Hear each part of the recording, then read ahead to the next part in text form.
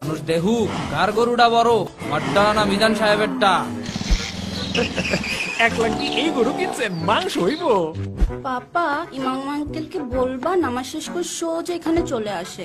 এবার কিন্তু ফেসবুকে লাইভে hello friends me in heart and this is Bhagyaraj দেশের সবচেয়ে বড় গরু আমার বাবা কিনেছে। সোশ্যাল মিডিয়াতে কমলা সুন্দরীকে পেছনে ফেলেছে গরু সুন্দরী। দেশের সবচেয়ে বড় গরুটা কিনেছেন বিশিষ্ট ব্যবসায়ী জনাব ফালাফালা আব্বা তুমি এইবারও ছাগল? ওমা মা এবার আমগো একটা মুরগি কোরবানি দেবা। আল্লাহ ভাবি নতুন ফ্রিজ আর বইলেন না ভাবি আপনার ভাই কাল এক বিশাল গরু নিয়ে আসছে এত মাংস কই রাখি? ভাই কত নিলো? কাকা ওই কাকা বাসুরটা কত নিল? ভাই কত? গরুটা কত ও ও কাকা গরু কত নিল? ঈদ মুবারক ঈদ মুবারক ঈদ মুবারক। ঈদুল আজহার নামাজের জামাত সকাল সাত ঘটিকায় ঈদগাহ ময়দানে অনুষ্ঠিত ঈদুল আজহা মুসলমানদের পবিত্র ধর্মোৎসব। স্রষ্টার সন্তুষ্টির জন্য পশু কোরবানি যার অন্যতম ধর্মাচার। কিন্তু মনে রেখো, কোরবানির মাংস বা রক্ত আল্লাহর কাছে পৌঁছই না।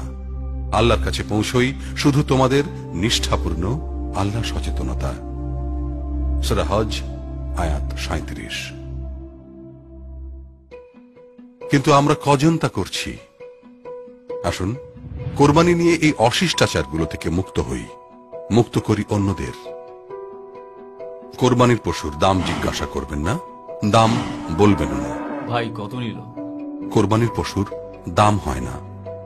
কোরবানির পশু কোনো পণ্য নয় পরম করুণাময়ের নির্দেশ। আর আপনাকে যদি কেউ জিজ্ঞাসা করে তাহলে বলুন আল্লাহ যা সামর্থ্য দিয়েছেন তার মধ্যেই কেনার চেষ্টা করেছি। কিনেছি। পশুর দাম ও আকার নিয়ে অসুস্থ প্রতিযোগিতা থেকে সম্পূর্ণ বিরত থাকুন। কোরবানির পশু কেনার পর বাজার দর যাচাই করে এ নিয়ে অহেতুক আলাপে যাবেন না।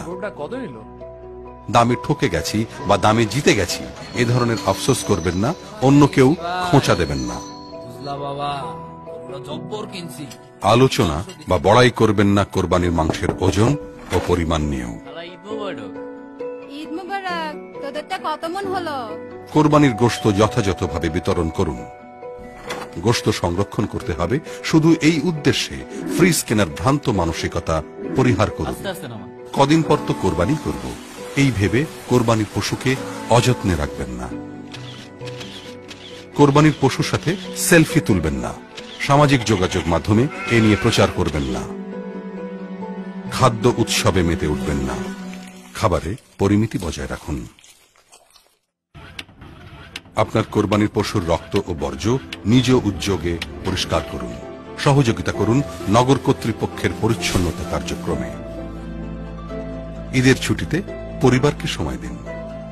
টেলিভিশন, ইন্টারনেট, ফেসবুক, ইউটিউব আসক্তি সহ সকল ভার্চুয়াল ভাইরাস থেকে মুক্ত থাকুন।